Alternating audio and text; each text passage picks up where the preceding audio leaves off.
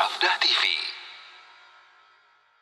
Setelah kita mengetahui cara umum hakikat makna dari musyarakat dan mudharabah, dengan demikian maka kita dapat mengenal investasi-investasi yang mengandung riba atau unsur kezaliman atau unsur gharar dengan hal-hal berikut ini.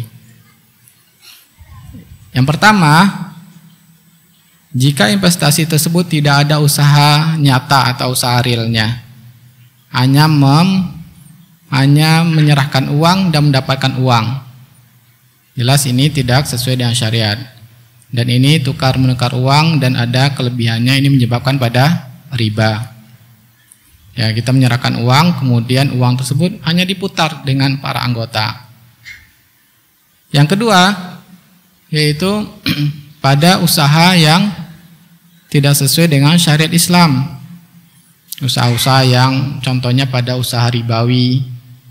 Kita menginvestasikan dana kita pada yang dilarang syariat dalam masalah riba atau dalam usaha yang jelas-jelas diharamkan. Yang ketiga, kita dapat mengenali usaha tersebut bahwa dia di dalam syariat bisa menyebabkan riba atau kezaliman yaitu adanya jaminan modal kita akan dikembalikan. Karena tadi kita sebutkan bahwa yang di dalam Islam jika terjadi kerugian masing-masing akan menanggung kerugian. Nah, jika dalam investasi tersebut bahwa ada jaminan modal kita akan dikembalikan ketika dalam periode tertentu beserta dengan kelebihannya, maka ini bisa menyebabkan riba. Karena apa? Karena hakikatnya utang piutang.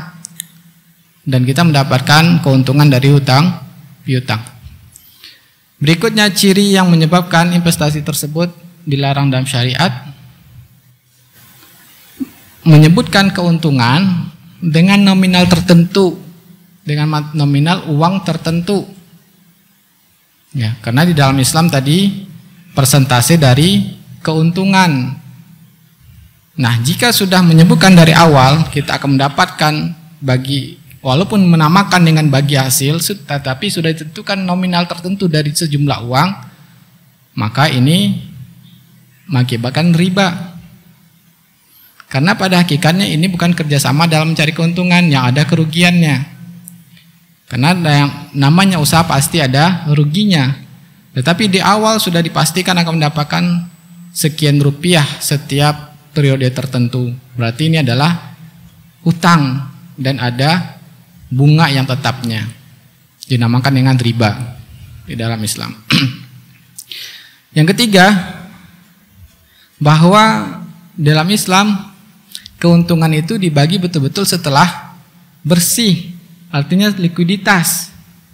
Jika ada bentuk usaha yang sudah membagi keuntungan, tapi masih dalam berjalan, dalam perjalanan usaha, dan memastikan itu ada keuntungan, maka ini bisa menyebabkan riba. Ya, karena tadi kita sudah jelaskan, yang dibagi itu untung. Tidak mungkin ada keuntungan kalau usaha masih berjalan. Nah, penguntungan itu berarti ketika betul-betul semua sudah dinilai, sudah diketahui berapa sisa dari modal, sejumlah uang, dan jika masih bentuk barang maka dinilai dengan uang atau betul-betul sudah bisa dijual, sudah dicairkan, dan itulah keuntungan itu yang dibagi.